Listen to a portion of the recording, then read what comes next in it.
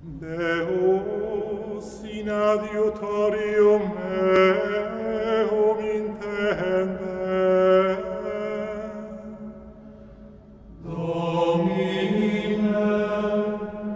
ad adiuvandum me festina.